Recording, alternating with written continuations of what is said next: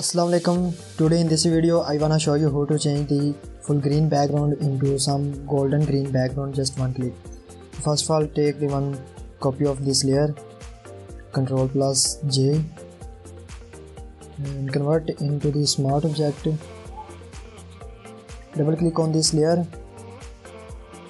Go to the image and select the mode option. Select the lab color and double click on the image layer. Click on apply image and select the B option. Decrease the opacity of this color. Minimum 26 to 30 and click on ok. Press the control plus s and save this image.